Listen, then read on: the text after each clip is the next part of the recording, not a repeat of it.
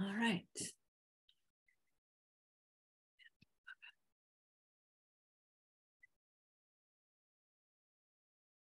All right. So, right. Hello, everyone. Welcome. And uh, this is the Friends of San Pedro Valley Parks lecture series. I'm Mila Stroganoff. I'm the program director as well as your host and facilitator today for this particular talk. And I'm glad to see that so many of you have decided to join us today. I hope you have your cup of coffee or cup of tea and that you're in for and you're in for a lovely uh, time this afternoon and very informative, I would think. Hmm?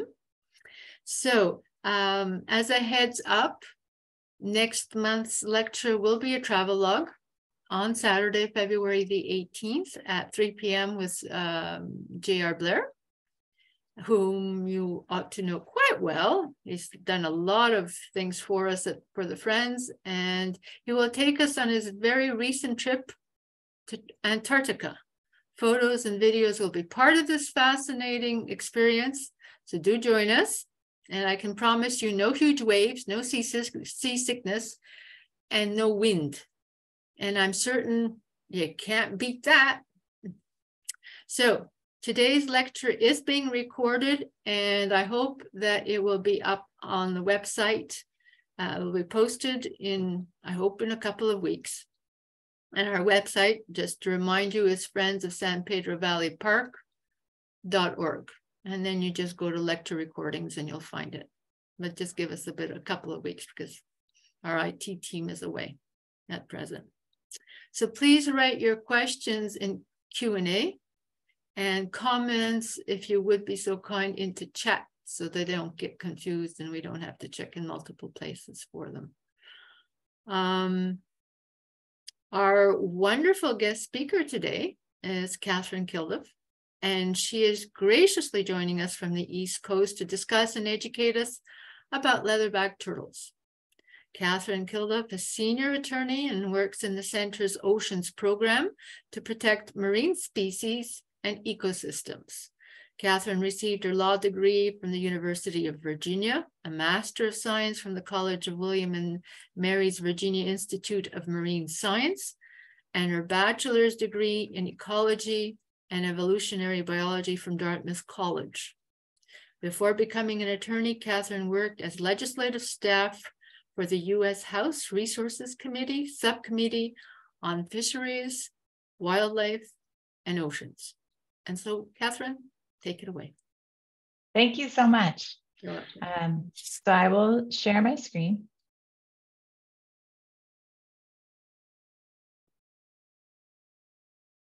Um, I'm going to talk today about the endangered leatherback sea turtle and specifically the population that feeds in the spring, summer, and fall off California. Um, and that's because California, the large marine ecosystem, which extends past California into Oregon and Washington, is extremely productive in the summer. There is upwelling of cold, nutrient rich waters, and these leatherback sea turtles travel thousands of miles to come visit the US West Coast. Um, so it's important that you're aware of them and aware of the threats that they're facing. So I'm going to introduce myself a little bit more. Um, this is me in the polar bear costume. This is Frostpaw. He, we used Frostpaw to encourage climate action in the US. And I do this work because of my family and um, my daughter, my mom, and it's really important that we all work together to try to keep fossil fuels in the ground. And this is important for leatherback sea turtles as well. And one of the reasons that I love my work is because it's very easy to feel passionate and motivated to save biodiversity. Um, and so I love talking about leatherback sea turtles, but I want to remind everyone that the overarching biggest threat right now is climate change. So I'm gonna, I've divided my talk into three parts. I'm gonna go through the biology of these really interesting prehistoric creatures, the threat of plastic pollution, and then the threat of fishing gear. And I'm hoping to leave you with a sense that change is possible um, and that there are victories that are happening, but that it will take all of us being creative and active in order to save these animals from extinction. Uh, because I am a biologist, but I am not an expert in leatherback sea turtles, I'm going to share two different videos with you that will um, allow you to get more familiar with leatherback sea turtles. And these two videos were both produced by the National Marine Fisheries Service, which is in the Department of Commerce, and they have jurisdiction over endangered species. And they also have science departments that do a lot of the important research on them. Um, and so the first one is going to be a little bit fun. So tell me if you cannot hear the audio. Otherwise, this is a video that was produced by the National Marine Sanctuaries, which is um, part of the Department of Commerce, about leatherback sea turtles.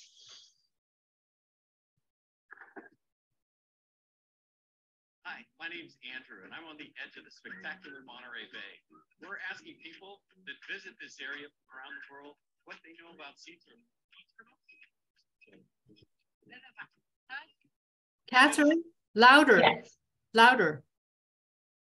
Can you make it louder? Hmm. Let me. Can you you so you can hear it a little bit? It's just Yes. not loud enough. Yes. Okay. I can probably work on that. Okay.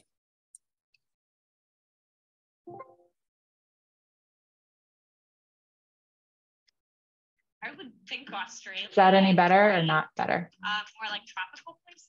Better. I've never seen those around here. It doesn't like the cold water. Uh, I don't think very much about sea turtles.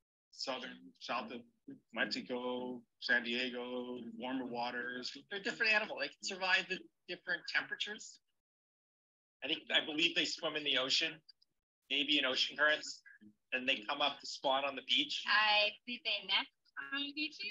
they just crack and hatch, and then the, the little turtles just say, "Hey, head to the ocean, head to the ocean, because that's where we need to be." A lot of them are kind of scared and don't know what to do. And also the baby turtles, they also get caught by the birds. When they uh, their kids, right? I'm not mistaken. They eat vegetables, they eat plankton, they eat uh, seaweed. They eat shrimp too. They feed on jellyfish. There's lots out there. Plenty. Other turtles probably eat other baby turtles just because they're a food source. I think the French eat lots of turtles. Humans eat them in different cultures. Who would eat turtle soup? I don't know, that'd be horrible. I think, put them on wood, really. I think they're protected, so we don't- technically can't eat them or capture them. You know, the United States technically can't do it. I know you know other countries probably do. They they take the eggs, do they? I don't know. I don't know. Is it the big, big one, the huge one? Some of them must be what, a metre across? That Uh-huh. what I know from Finding Nemo, they get to be good size. Oh my God, really? That's a leatherback? Wow. Whoa, big. It looks like a dinosaur. Where was that? I think it was cool too, but it's more southern hemisphere, warmer waters. It doesn't like the cold. But like, 800 kilograms. yes, Very big. large and probably quite old, I would guess. That's amazing. And that's out there, mm-hmm. right there. Yeah. That's fantastic. Gigantic too.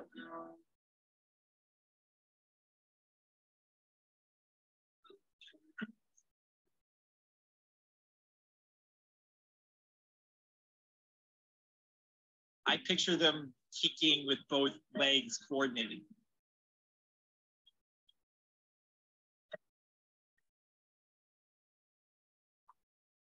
So they just flip, right? Yeah. Ending on that. Yeah. Okay. That. It's almost like a breaststroke.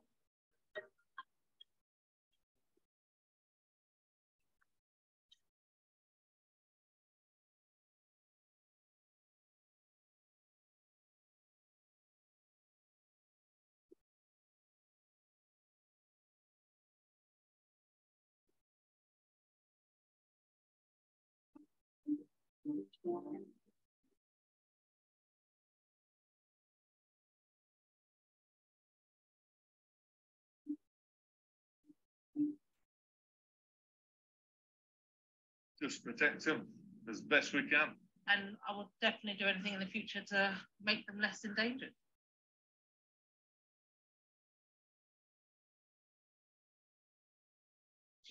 Okay, so that was a presentation that they did in October a year ago, which was also when they designated, when the state government designated leatherback sea turtles as a California Endangered Species Act endangered species. Um, I have one more video if the sound was good enough to show you.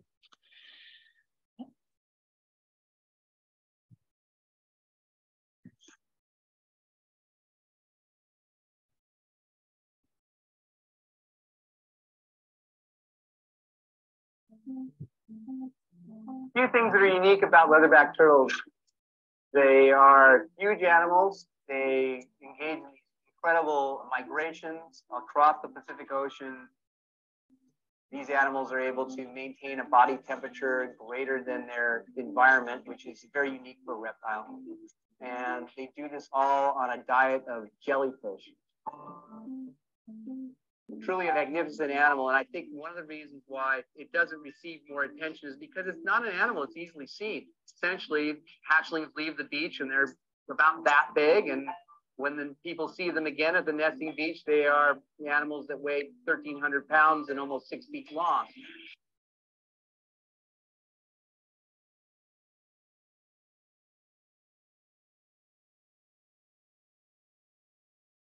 Uh-oh, bear with me here for a minute, please.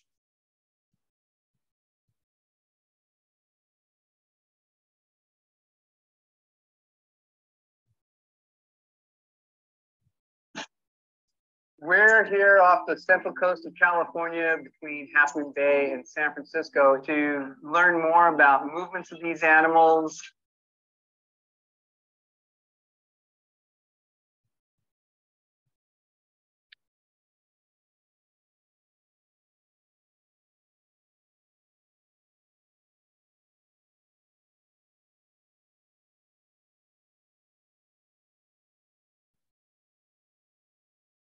They're a very cryptic species. They lie very close to the water.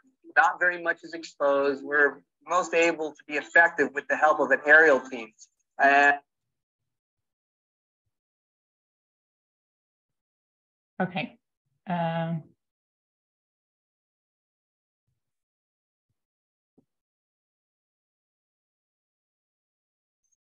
sorry about this. I'm going to give it one more try and then we'll move on and they essentially spot the animals for us and direct us to them. When we get on a turtle, it's a it's a pretty exciting couple minutes. After the net is put on it, we have it alongside the boat where we secure it with some additional ropes. And this boat is a very unique vessel, like a small landing craft. We have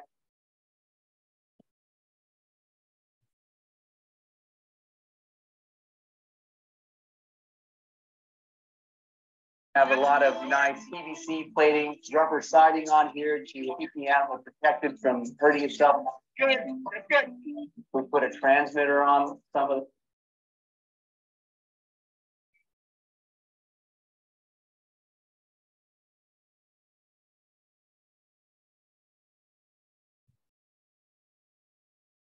Okay, well, I think you get the idea. so we'll go back um, to the presentation. Um, Mila, can you confirm that you can still hear me and see me? Yes, I can see you. Okay, good. the slides. Yes, everything's fine. So the video is good, but I mostly just wanted you to see that the leatherbacks in the water and how the fishery service puts these tags on them while they're off California and they are especially often sighted in Monterey Bay, which I know is fairly close to you. Um, unfortunately, the population has been in decline about 6% a year. And that means that the number that actually come to California is also declining about 58 um, on uh, the annual average of leatherbacks in California is about 58. And so they are nesting all the way in the beaches of Indonesia. They ride a current, the Kuroshio current, um, north of the Hawaiian Islands to get to California. And you can see the bottom right graph is the number of leatherbacks foraging off the US West Coast. And it has been declining at a rate that's consistent with the nesting numbers that they gather from Indonesia. So there are about 560 nesting leatherback females, which is how they estimate abundance, um, is by counting the females. And of those, um, the males and the females, 58 come to the US West Coast to feed. So they don't come necessarily every year. They cross over to the US West Coast and they'll stay for three to four years um, before going back to the West Coast. And there are probably some areas where they hang out that we don't know about. So it's not certain that all of them come to the US West Coast. Some of them might feed north of the Hawaiian Islands. Um, and so we're still trying to figure out what the life history is of all these animals. They're susceptible not only to getting caught by fishermen off the West Coast, but also fishermen in Hawaii. It's difficult to protect their nests in Indonesia from predators um, like dogs, for example. And there's also many, many fishing fleets that are harvesting fish from the, the international waters that they're swimming through, those 7,000 miles. Um, so I'm going to talk a little bit about the threat of plastic. The migratory routes go straight through the Great Pacific Garbage Patch. And um, so you can see California is on the map on the right with the green circles. Um, and these are tagged leatherbacks. And you can see them traveling straight through where the gyres deposit most of the plastic trash in the ocean. And so this is problematic because the leatherbacks, as you saw in the video, they are feeding on jellyfish. And so a lot of the plastic looks like jellyfish and they're ingesting it. And one of the reasons that they are such good swimmers and they can make it 7,000 miles is because they have very long flippers. And so the flippers are also getting entangled in marine debris.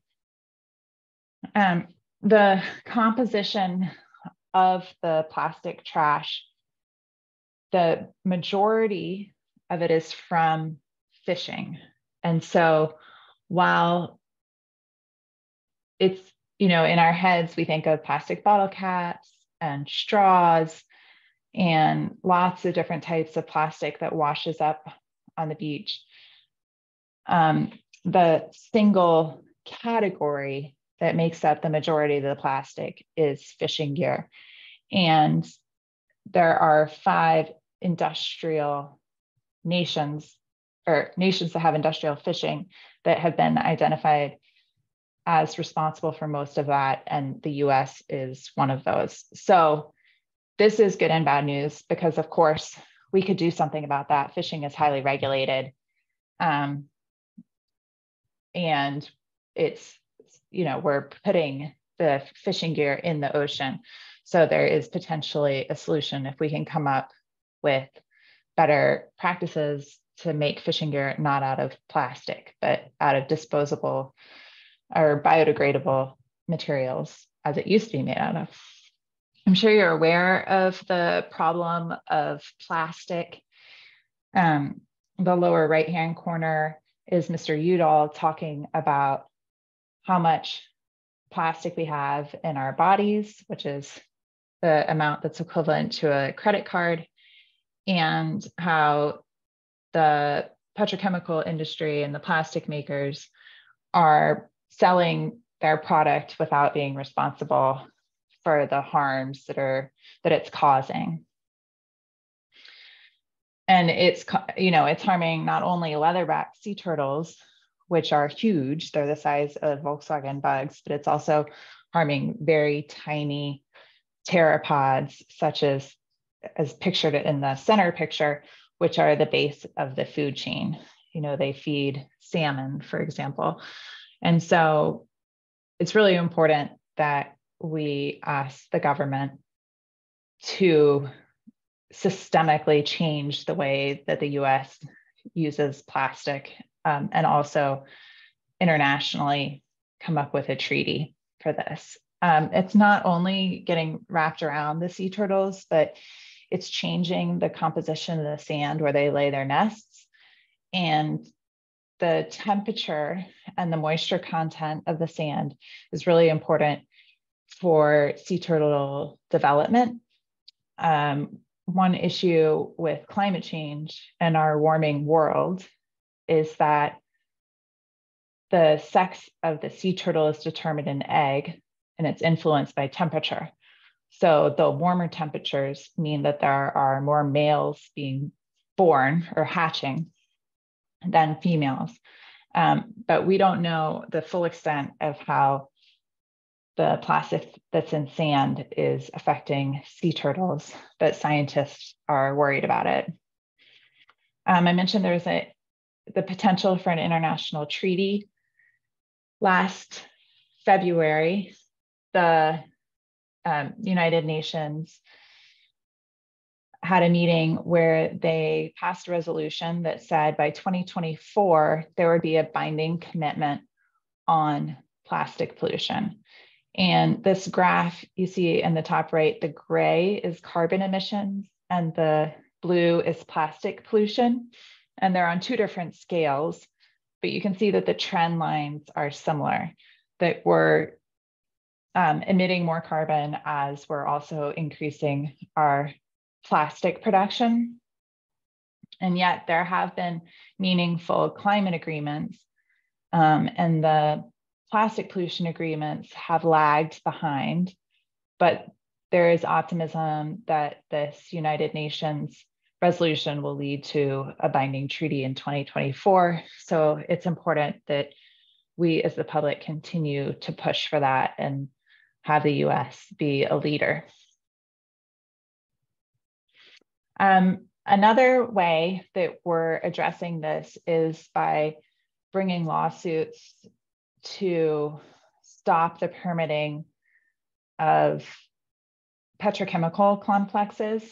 One example of that is in Louisiana in James Parish. There was a company called Formosa that is a known bad actor and has been fined because it makes plastic pellets that are released into the environment.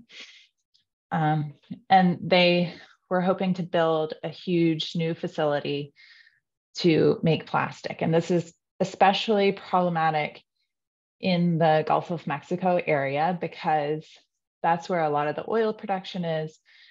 And these facilities are going into areas um, that already have industrial complexes that are affecting public health of the people that live there.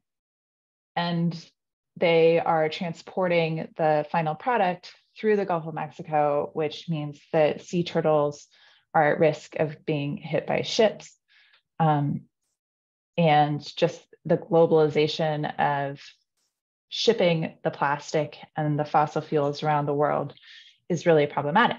But we had an, a nice um, win. We filed a lawsuit to challenge the Army Corps permits that would allow Formosa to put this plant in the wetlands and convince the Army Corps to go back and do a full environmental impact statement. So the fight is not yet over, but um, it is at least delayed at this point.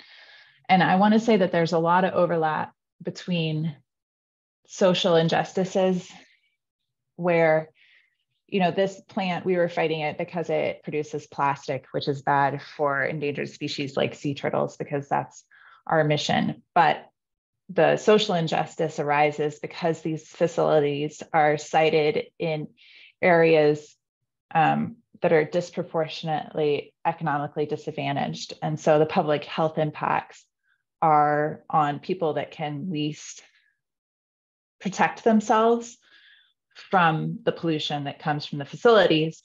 Um, and in this case, there was a subsequent challenge to the air permits from the facility where um, a judge in Louisiana actually recognized that the people that live in this area are descended from slaveholders and their um, families, blood, sweat, and tears are in this land. Uh, and so it is not fair for them to be displaced by bad air quality or um, you know industrial facilities coming in. And it's a really moving decision um, and it's wonderful to read but it makes me hopeful that not only can these wrongs be corrected to protect the environment but that it's also going to protect the people that live in harmony with the environment there too. Um, so i'm going to move on from plastic to the threat of fishing gear. The, um, like I said, fishing gear is a major source of plastic pollution, but it also directly entangles uh, leatherback sea turtles when it's actively fishing. And so this, you can't see very much of the leatherback sea turtle or the fishing gear here, but it's the California Dungeness crab fishing gear, which has a buoy at the surface, which you can see in the picture, the orange, and a large heavy trap at the bottom of the ocean. And so, because those long flippers that leatherbacks have, when they're swimming in the area like Monterey Bay, where there's both fishing gear and jellyfish, um, they tend to get wrapped up in the fishing gear. And so one solution that we've been trying to push for is ropeless fishing gear, where the rope is either not deployed until the boat is above the buoy. So it can be released um, remotely by the fisherman and the buoy pops to the surface and then he can pull it up. Or it can raise a gas canister, can release and raise the whole um, pot to the surface. And this is also a solution for whale entanglements and it's been developed on the East Coast to protect North Atlantic right whales and in other fisheries around the world. So we're very hopeful that the Dungeness crab fishery and other fisheries on the West Coast that use traps connected to vertical lines to buoys can transition to more sustainable fishing gear. We brought a lawsuit about this problem in 2017 and we were able to settle with the California Department of Fish and Wildlife for a program where they don't open the Dungeness crab fishery until there are no more leatherbacks that they know about on the West Coast. And so that picture at the beginning of the federal scientists putting a tag on the back of the leatherback sea turtle um, that's really helpful because they do that throughout the summer. And then by the fall, they have a whole bunch of tags and they can see whether all their tagged leatherbacks have left. And of course, it's not indicative of the entire abundance on the West Coast. They don't tag every single leatherback, but it at least gives an idea of the dates that the leatherbacks are leaving to go um, to warmer waters over winter. And this is important because of climate change, the migrations of these animals is changing. the warmer water means that they are staying later and they're coming earlier. And so the Dungeness crab fishery, which traditionally opens November 15th, um, was having a big overlap with uh, humpback whales and blue whales and leatherback sea turtles while they were still foraging on the coast. And the Dungeness crab fishery, most 80% of the effort, the fishing effort occurs in the first two weeks. And so the fishery opens and then everyone goes fishing. Um, and that's when you get the best price for the crab. And then later people stop fishing as much. So it's really important when the fishery is delayed that, that it's delayed to a point where the leatherbacks and the whales are no longer um, in such high concentration. So it was really great that California created this web page, has the risk assessment and mitigation program, and includes an area to close that's important to Pacific leatherbacks. It's not just whale safe fisheries, but it should also be turtles safe fisheries. Another fishing gear is that's problem on the West Coast are long lines. And the longline fishery, California banned it in 2004. And so those fishing vessels now operate out of Hawaii or outside the 200 mile zone off California. But the federal government is trying to reintroduce long lines off California. And you can see from the picture what it looks like. The lines are set out and then collected many hours later. They're not actively tended. and so they can catch leatherbacks and the leatherbacks drown because they're air breathing and have to come to the surface. Um, and we challenged an exempted fishing permit for two vessels that was issued in 2019, and we were successful in our lawsuit. The exempted fishing permit is um, it's test. It's like an experimental fishing permit. Um, and the judge agreed with us that the federal government didn't take into account all the scientists that they employed, the, their own scientists that say every turtle counts to the survival of the species, um, when they issued these permits that said, well, we'll stop fishing after we catch or and kill one endangered sea turtle. And so that was great. Um, it didn't take longline fishing off the table entirely. The federal government still says that they're they want to introduce long lines to California, but it definitely helped to have this decision talking about the importance of leatherback sea turtles. Another bad fishing gear is drift gill nets. Um, drift gill nets are up to a mile long and they entangle whatever comes past, including sharks and sea lions.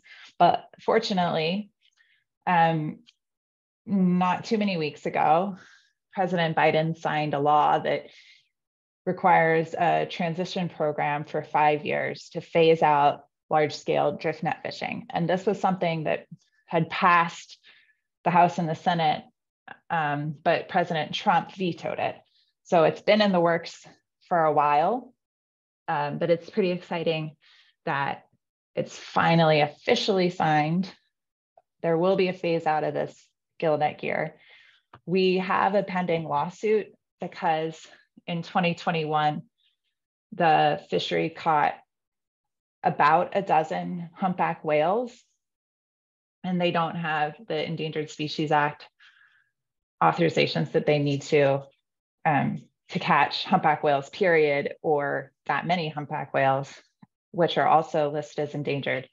And so we're hoping that there will be measured interim measures during that five years to reduce the protected species bycatch of turtles and whales um, in those five years. But that's looking, I'm optimistic about the drift net fishery being mitigated too. Now, and it's not just, you know, I just identified three types of fishing gear off California that are particularly problematic. Um, of course, the only threats are not those three. And so I want to talk more about affirmative measures that are in place to protect leatherbacks. This is the orange areas are critical habitat, which is areas that are essential to the conversation conservation of leatherback sea turtles. And you can see it's not only off California, but it's also off Oregon and Washington.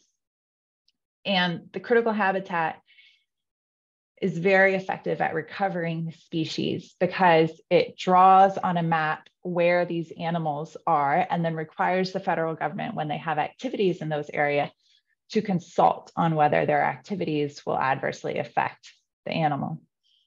Um, and so animals like leatherback sea turtles that have critical habitat designated are twice as likely to be recovering as those that don't. And so this critical habitat was designated by the federal government in 2012. Um, and then I mentioned this at the beginning, the we submitted a petition to list the Pacific leatherback sea turtle on the California Endangered Species Act and that means that California will have to do something similar. Whereas when California is approving a permit or taking an action such as a fishery management plan, developing a fisheries management plan, they will have to undertake um, environmental analysis to make sure that it's not going to harm Pacific leatherback sea turtles. And so, one example of this is I mentioned that the federal government is trying to introduce long lines. Well, the state government is trying to introduce additional crab fisheries. And so they're experimenting with a box crab fishery in Southern California. And they're trying to add experiment with a offshore deepwater crab, similar to a deepwater crab that they fish for in Alaska off California in the northern, central to northern part of California.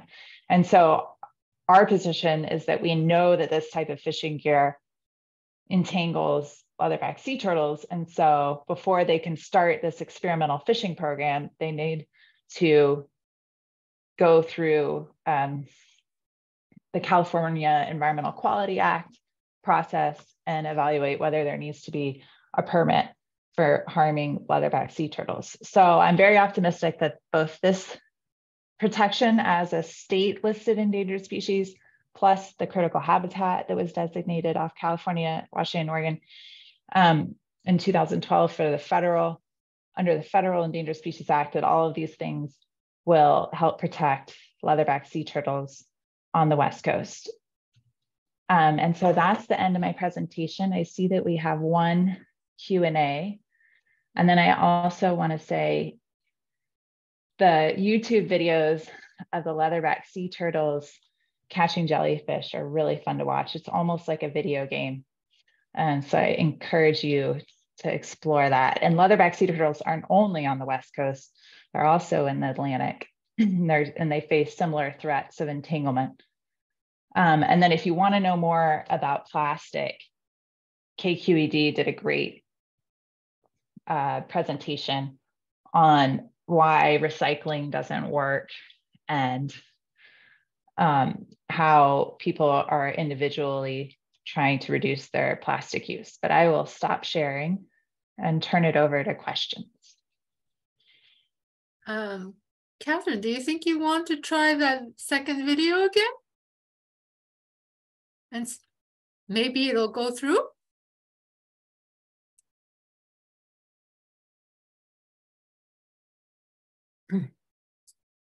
Sound is off.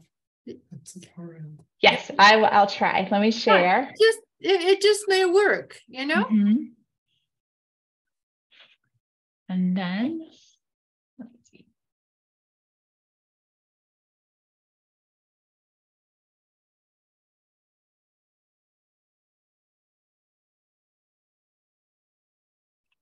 We put a transmitter on some of them to track their movements across not just the Pacific, but look in finer detail to help inform our fisheries about where these animals might be.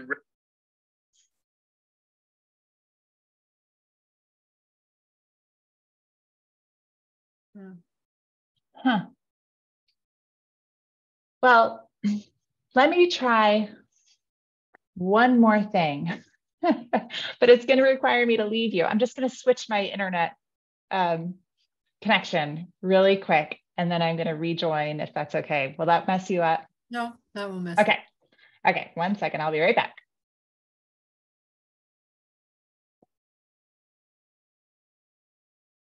relative to different environmental conditions and what kind of depths it might be diving to.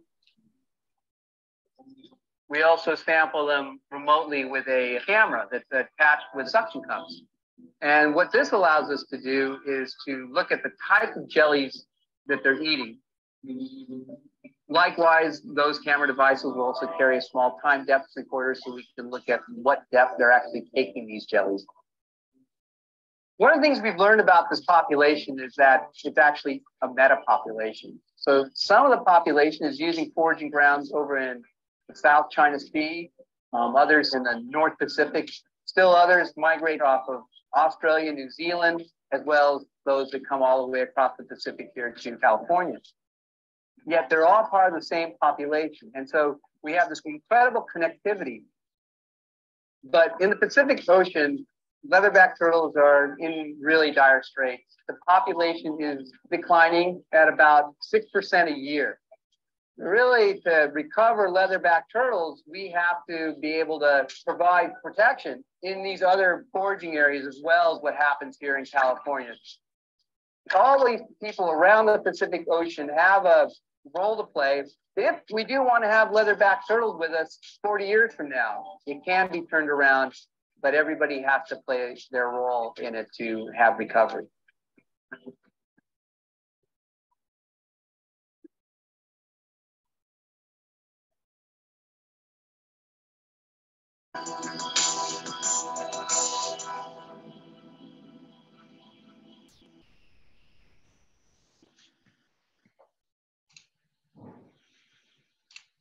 Okay, good. I'm glad that that worked. So you got a little bit more. I mean, who, who doesn't like to see baby sea turtles crawling through the sand going to the ocean? exactly.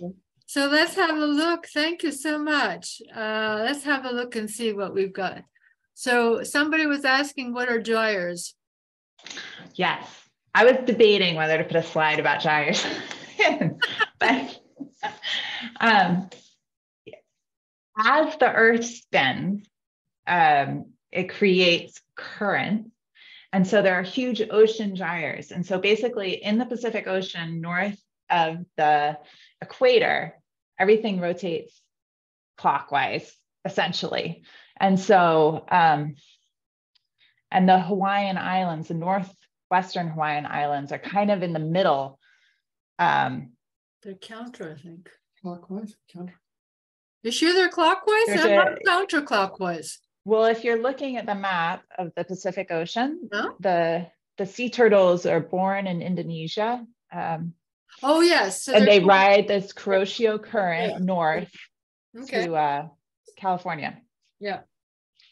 Um, oh, so the gyres are kind of like an eddy in this big ocean circulation system where all the trash ends up. And it's right around the Northwestern Hawaiian Islands. And the, they're like a strainer. And so all this trash just gets caught um, on the Northwestern Hawaiian Islands.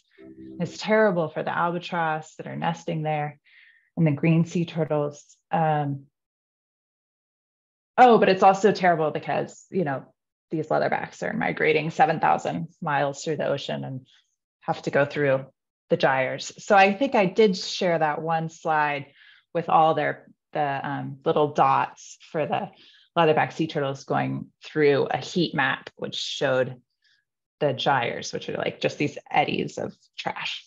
Well, you have gyres in every ocean, basically north, northern, yes. north, northern hemisphere, southern hemisphere, and you have a lot of uh, garbage, pollution, plastic, you name it, collecting in them, right? Right, exactly. It's a much higher concentration than other areas of this huge ocean. Okay. Yeah. So let's go check and see. And it says, uh, Phil is asking, why is the federal government pushing for long lines? Yes. So this, um, I mentioned that the agency that protects leatherback sea turtles and other endangered species is in the Department of Commerce. and so there's the National Marine Fisheries that protects leatherback sea turtles.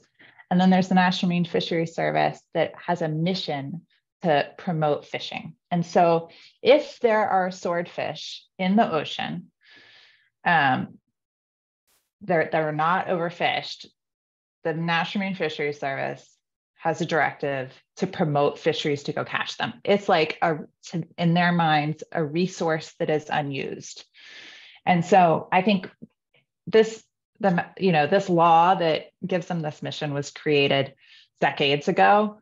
Um, and it didn't really encompass for the whole ecosystem use. You know, if we're not eating that swordfish, it's not like it just goes to waste. It's part of the ecosystem that's important.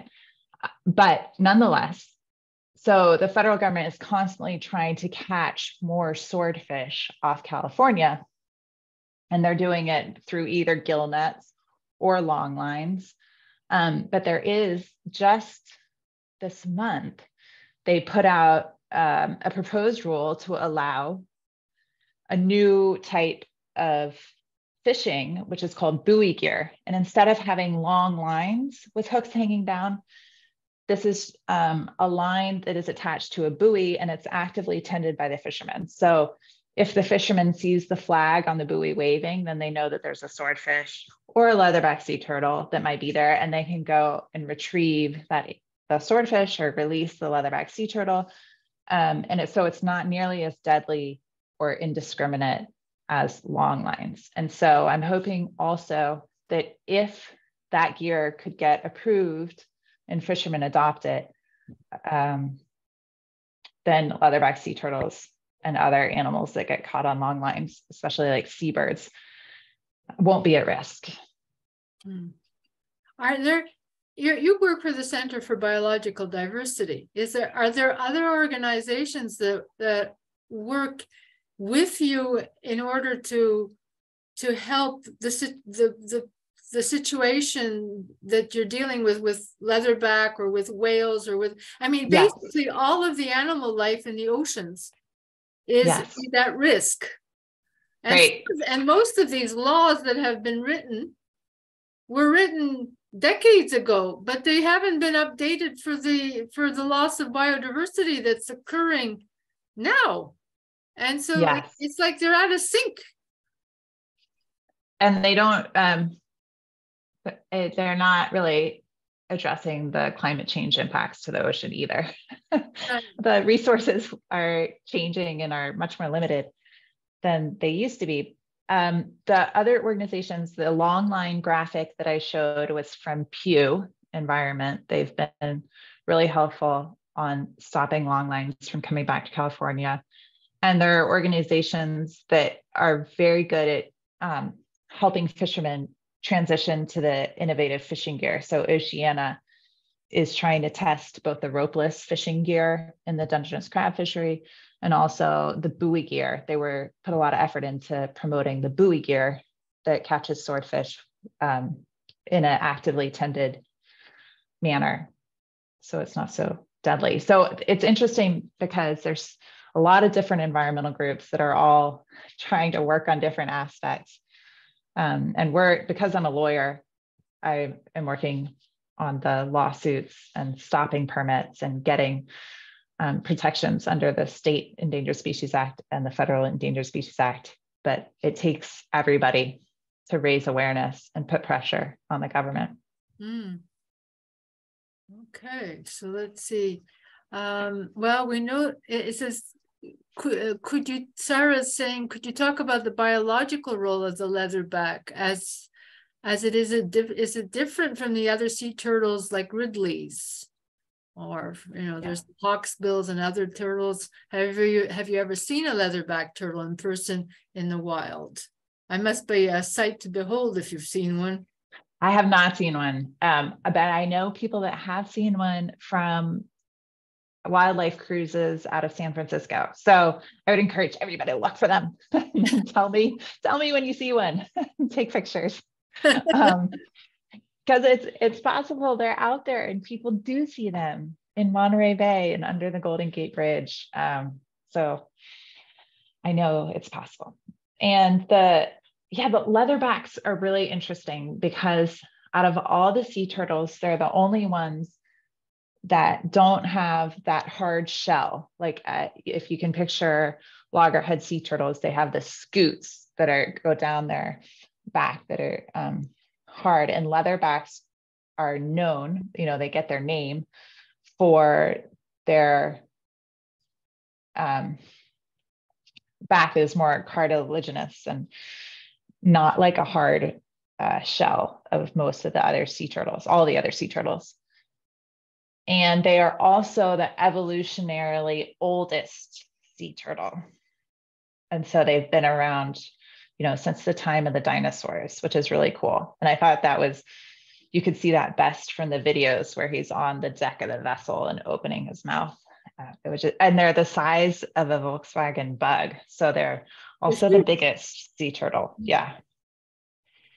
It would be a sight to behold. The only thing I've ever seen is the carapace hanging in the at Cal Academy, you know, on the wall. And ever since then, it's like, wow, you know, yeah. that's huge. So, okay, and upward and onward. Um, Sharon's asking, does the info you have given related to leatherback population apply to the population in Central America, specifically in Costa Rica? Yeah, that um, so there is. We often call the one the um, leatherbacks that come to California the Western Pacific population, but there is an Eastern Pacific population that's even in worse shape, um, more endangered, which is hard to believe.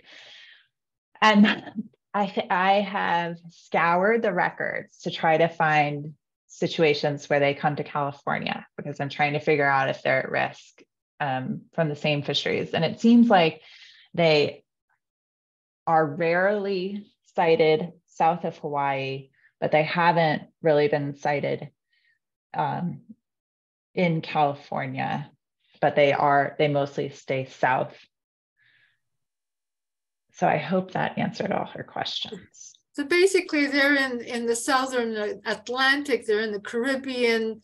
They're on they're in they're on the other side of things. Right? Well, there are there are Atlantic leatherbacks that have critical habitat designated in the Caribbean, but uh-huh. in the Pacific, there's also an Eastern Pacific population um, that's just a little bit that doesn't quite get up to the U.S. except for Hawaii, might come up south of Hawaii. Ah, okay. All right. So there's um there's like two separate populations. Yeah, they have different nesting beaches. So I um, when she says the Central America, I think she might be talking about the ones that nest in Central America and then stay right around the Eastern Pacific mm-hmm. Ocean. Okay. But they have to swim all the way around South America to get to the other side of things, no? I mean, they're not going to go through the Panama Canal. Yeah, no, they they are separate populations on the Atlantic and the Pacific. So there's more than one distinct population segment in the Pacific in the Northern Hemisphere. And then there are also ones in the um, Atlantic. Okay.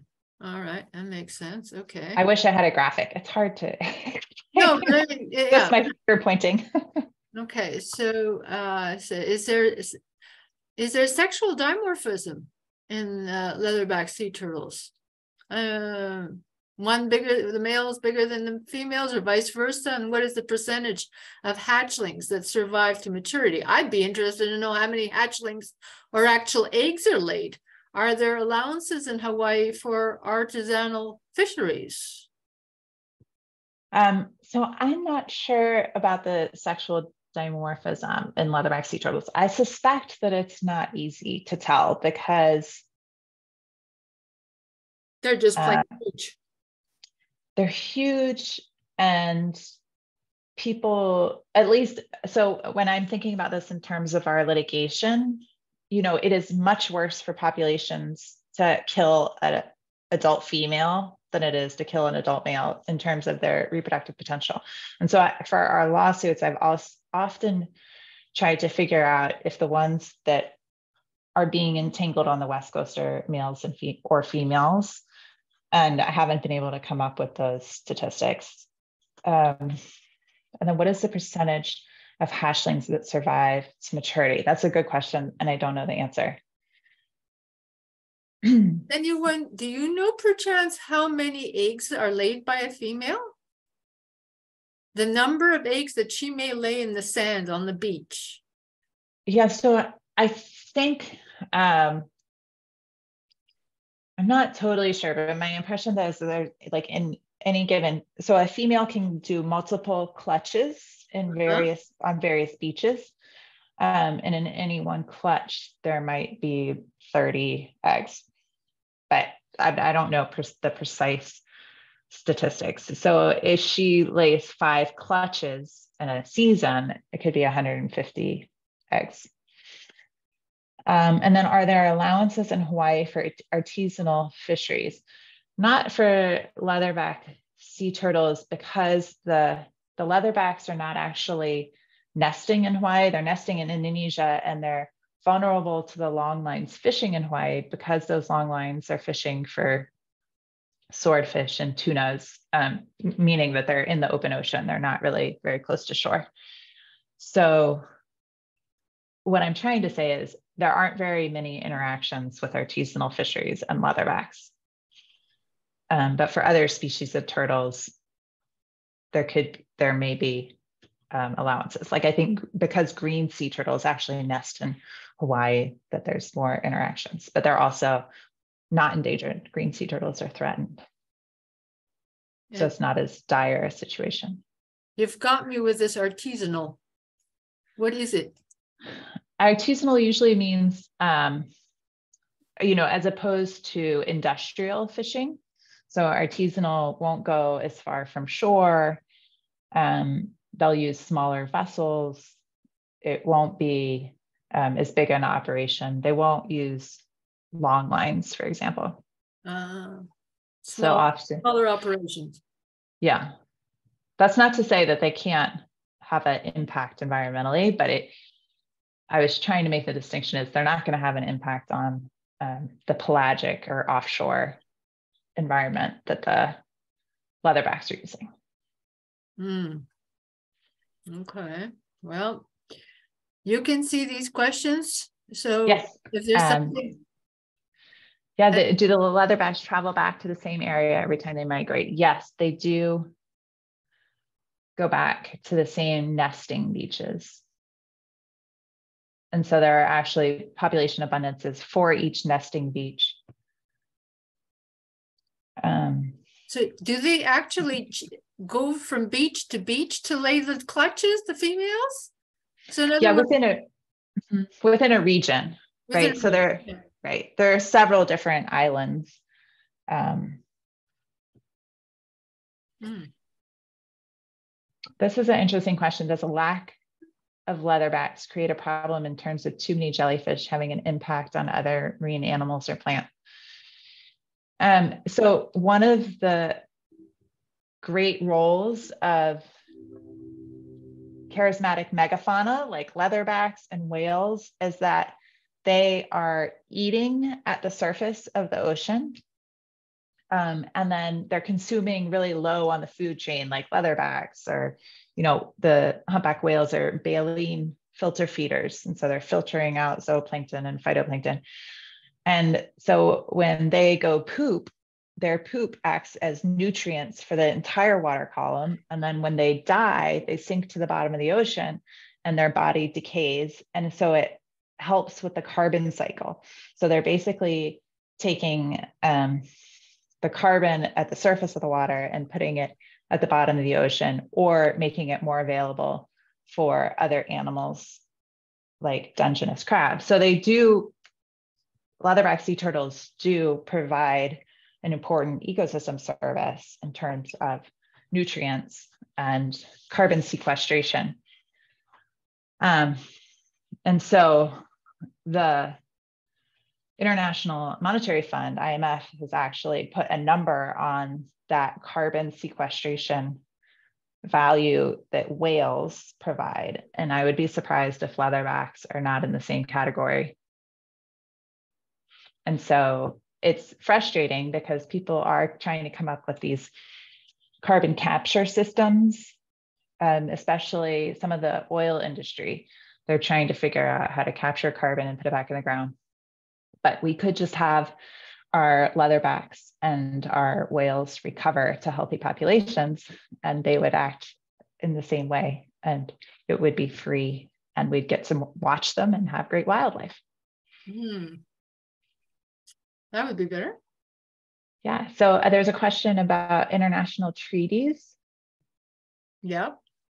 And yes, that's another thing that we're not, the US does not import any seafood where it's been caught with gear that is less protective than our fishing gear. So that's good. There are some import restrictions that are designed to protect leatherback sea turtles. Um, and of course, trade is banned in leatherback sea turtles. And is there anything, or one single or any single thing that we can do to help them?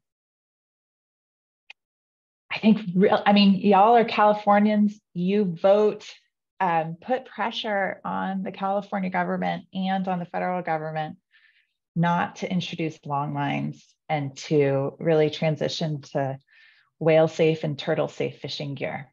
Hmm. So some letter writing in in in need here. Yes. Yeah. And this is, yeah, I mean, this is the there decisions that are being made about the Dungeness crab fishery um, in the next couple of years that are really influential. Like this is the moment that we can transition to ropeless fishing gear. So it would be great if we did that. Hmm. And and you were saying that when they do ropeless, they they actually raise. How do they raise the cat? Yeah, so they, yeah, so the um, there's two different ways. Either the buoy is restrained at the bottom of the ocean until there's a release triggered by the fishermen up above. So I guess one of the things that makes me optimistic about recovering endangered species is technology. And because the technology is influential in knowing where the turtles are, which means that they can we can close certain areas of the ocean to fishing when they're there.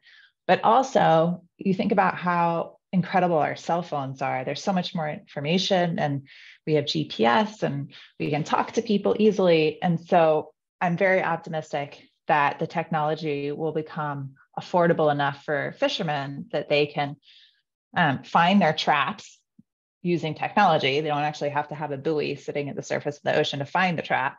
And then when they get there, release the buoy or um, inflate a gas inflate a buoy using a gas canister at the bottom to lift the entire trap up. And so it's, you know, now that we can identify where the traps are remotely, it really opens up a lot of possibilities um, in terms of how to retrieve them. Hmm. Well, at least there's hmm. some progress, definite progress there. And um, Mike is asking about biologists and whether they can determine which migratory group they belong to yeah, that's um, interesting. It has to do a little bit with the technology. They, so I think I mentioned, or maybe um, in one of those slides, the video, they leave the beaches and then some of them just feed north of Hawaii and they don't go all the way to California. And then some of them do go to, all the way to California. So even within this population that all nests in Indonesia, the ones that come to California are special um, and different from another migratory group. So biologists can't really determine which migratory group they belong to unless they have a satellite tag on them, which is that device that you saw them gluing to the back of the leatherback, which um, stores data and then transfers it to the satellite and to the biologist. so the when they listed the leatherback sea turtle on the Endangered Species Act, they listed it as a worldwide population. Um, and so if they could get, or if there was a policy reason, they could get the genetics and distinguish the different nesting areas from each other, that would give us more information about what's the relevant conservation unit. Mm. But right now, they're all endangered. And so the government has decided there's no reason to divide them into smaller populations for the purposes of the Endangered Species Act. Huh. Just lump them together, right? Uh-huh. Protect them all. Okay. And a lifespan of a of a leatherback, any idea? No.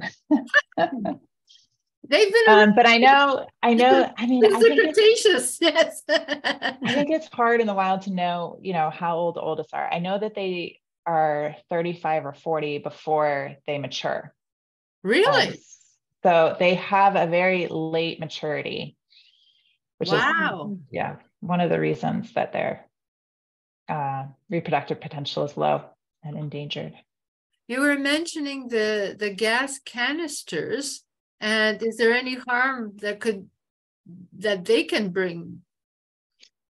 Um, or that hasn't I, evaluated yet? I don't. I mean, so I guess I don't. it's not gas as in petroleum. It's a um, vapor. Um, so I don't think that I don't know exactly what type of gas it is, but I don't think it would. I think they could use something that's not harmful.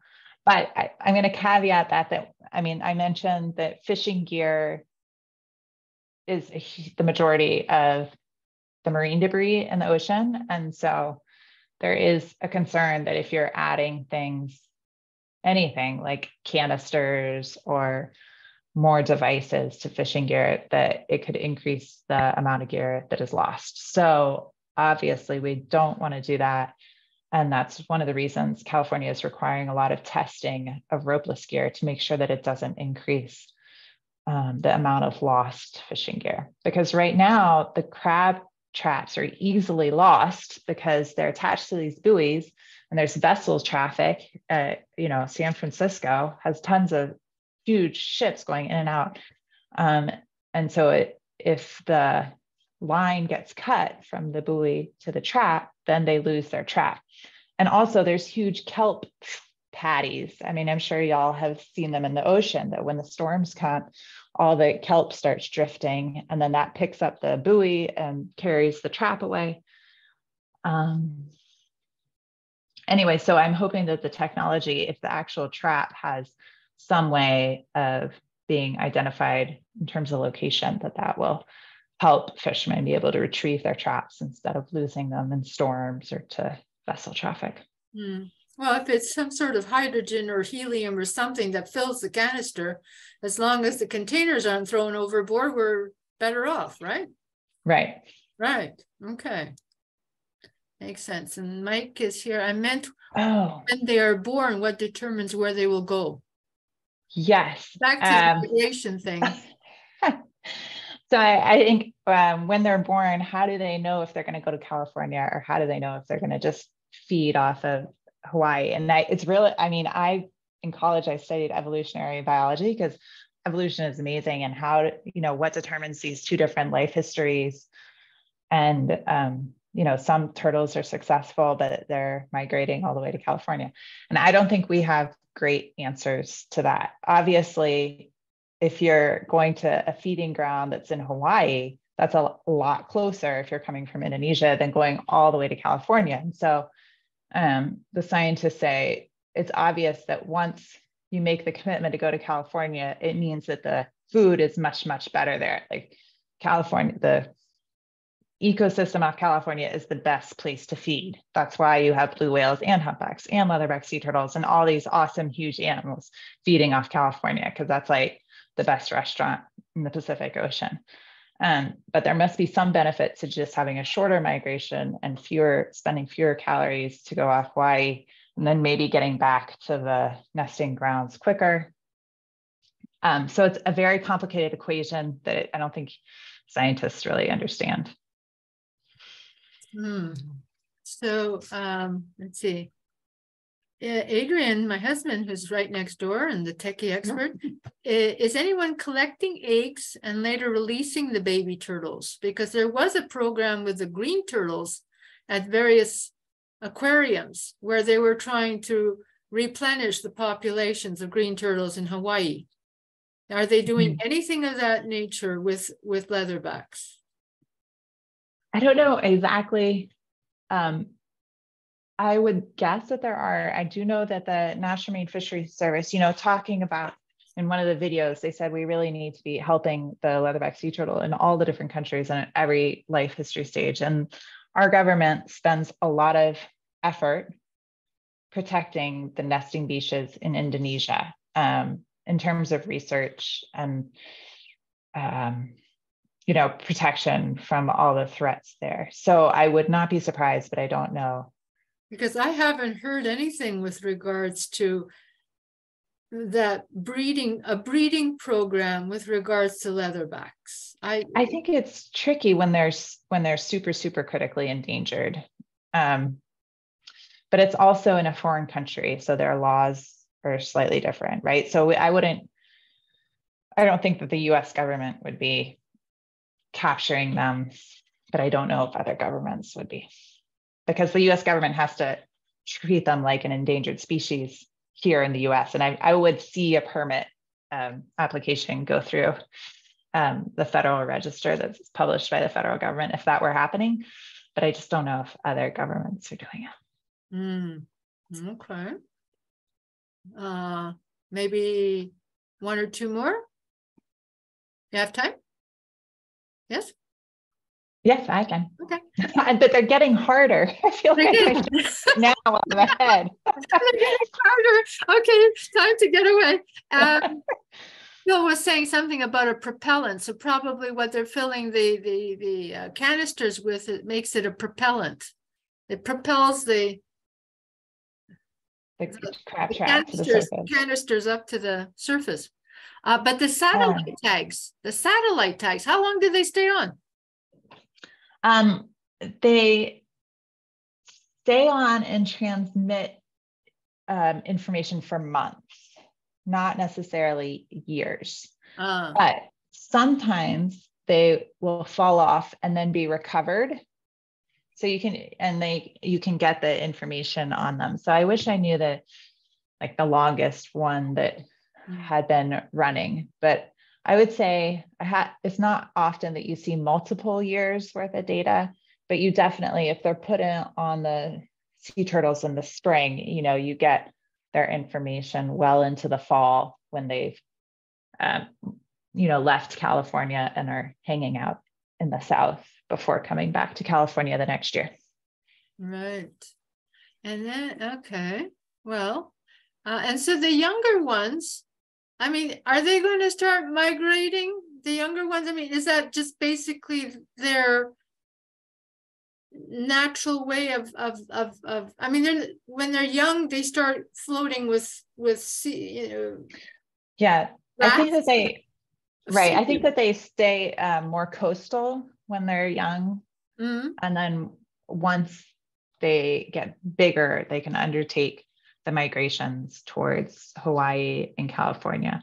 Um, and they stay off California for at least about, you know, they're hanging out on the side of the Pacific for at least four years before they go back um, to nest. So they have a chance to recover.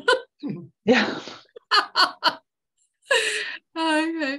Uh, and then there's something, let's see, there's something here about Trinidad. It says, I witnessed a turtle laying the eggs on a beach in Trinidad, and there were hundreds of them. And then we're told that they hatched very few survived hatchlings. Very few survived because birds and other predators picked them off the beach, which is the norm with turtles. I mean, it's like every other every predator in sight seems to know when they're when they're going to have the you know deposit the clutches of eggs right yeah yeah right so i think we've we sort of i think it looks So I believe. See, they were getting harder because uh, you were getting better and better in answering them. it's dangerous. As you go along, the questions get harder. Yes. Um, I'm gonna, I would love to just put in this website because the the National Marine Sanctuary had an hour long webinar. Um, and I only showed a couple of minutes of it. So maybe I could put it in in in the in the chat or or Yeah. where, or put it on the let's see.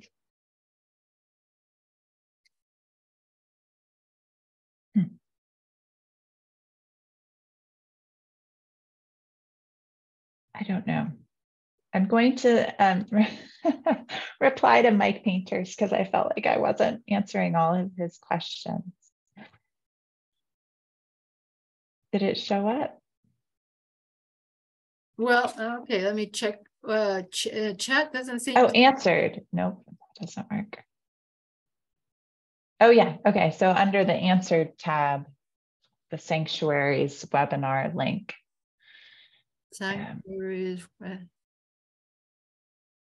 ah, Mike Painters and the answer. Yeah, the answer to Mike Painter. The answers to But I encourage everyone to watch that video, the, the whole video, because they have a 3D representation of the leatherback sea turtle, a virtual reality type thing, which is fun.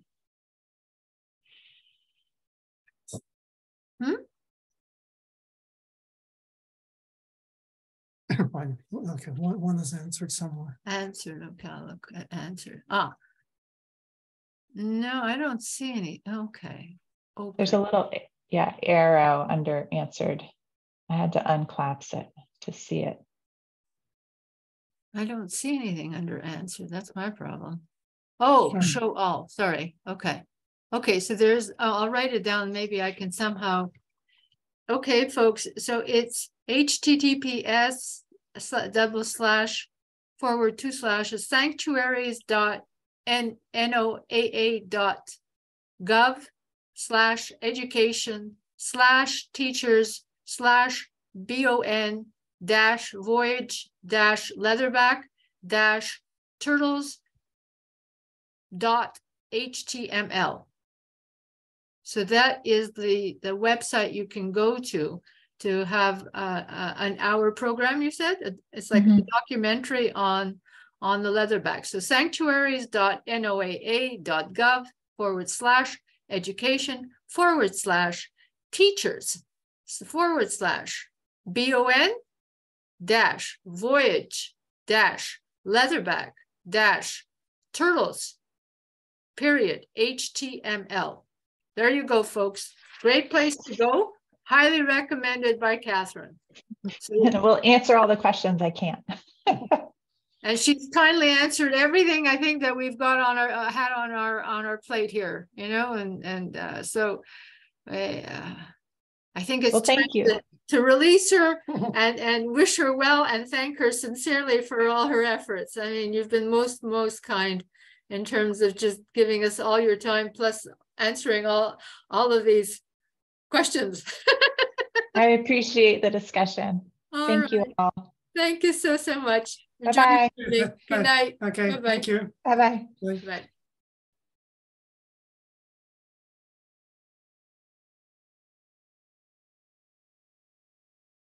Um,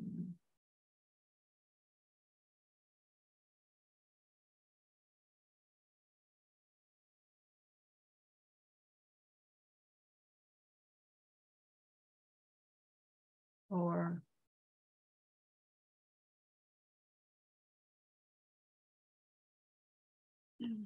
So I'll just. We're leaving the web, we're closing things up, folks. So the last ones who are on.